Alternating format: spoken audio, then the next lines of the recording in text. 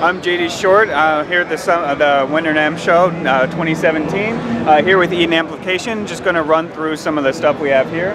This is the World Tour Pro 900, WTP 900. This is the flagship model, and what this is, this is a 900 watt, um, two power amp section, um, World Tour Pro. The redesign, uh, recent redesign of the World Tour Pro, sort of incorporates this tube mix, which is a second uh, tube preamp stage, which you can feed back into the original one to give you some, some dirt and some breakup.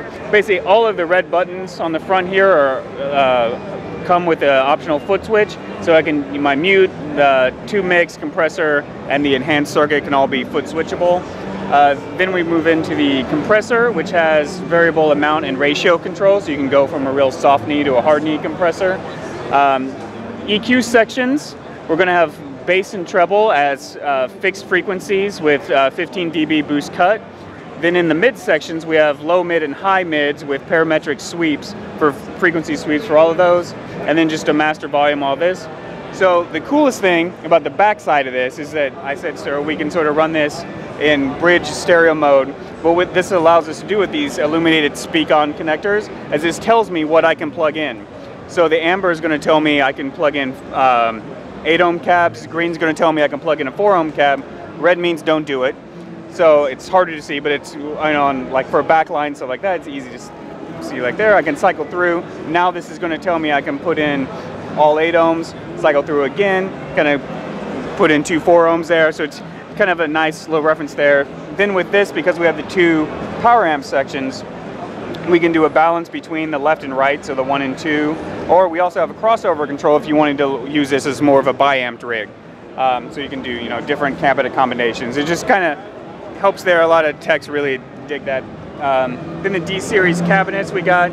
These are again our top of the line cabinets. These are the 112s with tweeters. Excellent. These are uh, made in the UK. Uh, changed a lot of the uh, been redesigned. There's a new handle on these, sort of changed the batting, internal batting for uh, mostly for health and safety, but been an extensive A and B processing just to make sure those are all um, set there.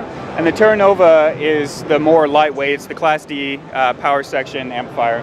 So these have been recently redesigned. Uh, they were new to the show last year. So the power section, basically, if you're familiar with the uh, WT 550, the 500 series uh, heads that were out, a while ago. It's, basically the preamp sections from those. So the EQ. So with these, we're looking. We just look at um, the compressor doesn't have the amount of ratio controls that you would see on the Tour Pro, but it does. It is foot switchable on and off, or just push button here.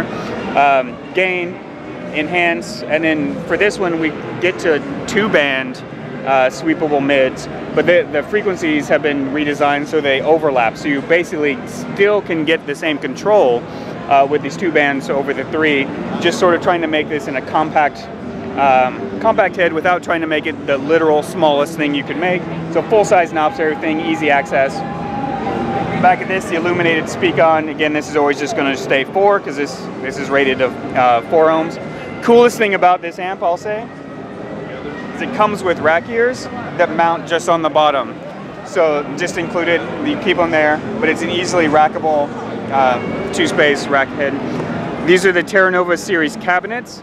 So a little more lightweight, not looking at a neodymium speaker or anything, but they're uh, more compact, more lightweight than the D series. Uh, 212, 410s here.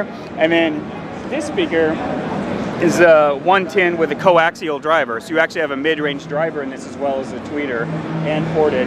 So that's sort of, we have a lot of uh, upright players. I have a couple of those that I really dig. But then what it does is it sort of gives you a fuller sense of um, and so there's not a gap between sort of the woofer and the tweeter. It just sort of rounds everything out. So it's been really nice if you play Arco on upright, you kind of smooth into like thumb style without losing anything really around those. So that's that's basically the, the newest bits, and then we have the this 112 combo.